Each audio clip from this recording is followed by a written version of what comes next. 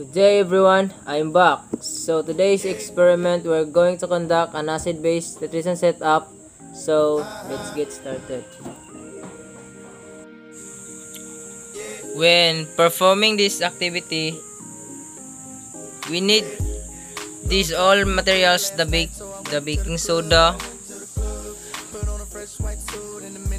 food coloring,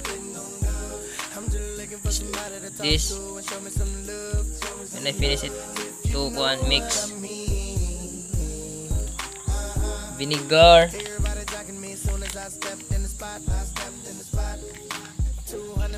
Sirens.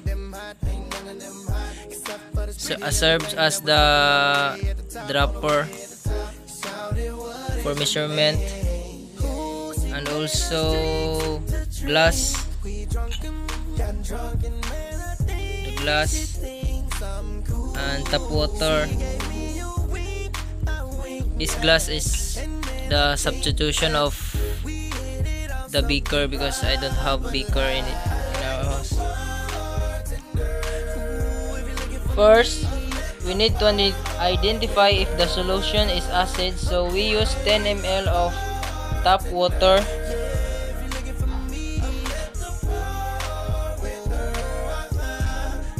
Next, we put 1 tablespoon of vinegar.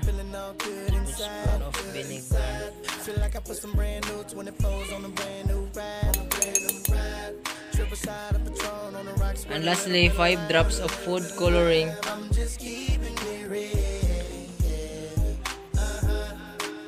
still working at the club, so I'm getting in free. So I'm getting in free. Wednesday night, I'm on the list. T-Pain plus three. T-Pain plus three.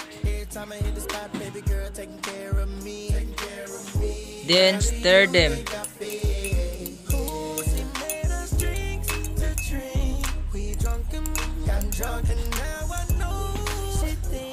So can you see uh, after stirring the solution I I see the color I see the color orange so it is acid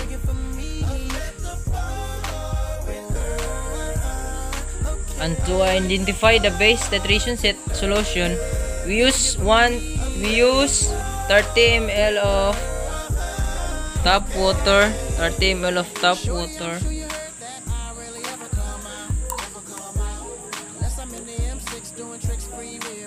One teaspoon of of this one teaspoon of this the baking powder one teaspoon of baking powder.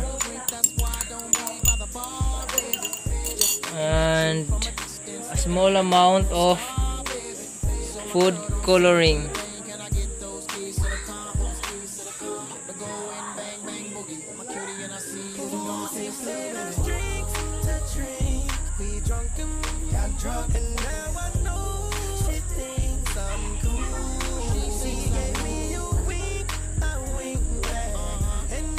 Then, same as before, stir them.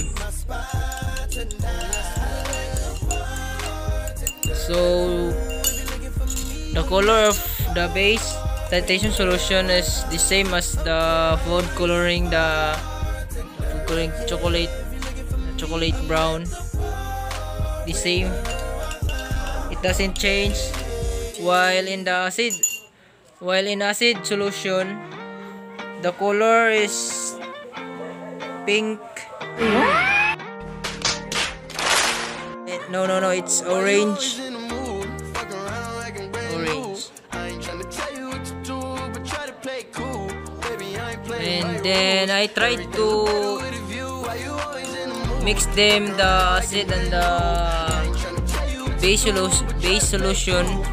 Then the result is red can as you can see the result of mixing both is red. Golden red. Get have some bubbles inside of it.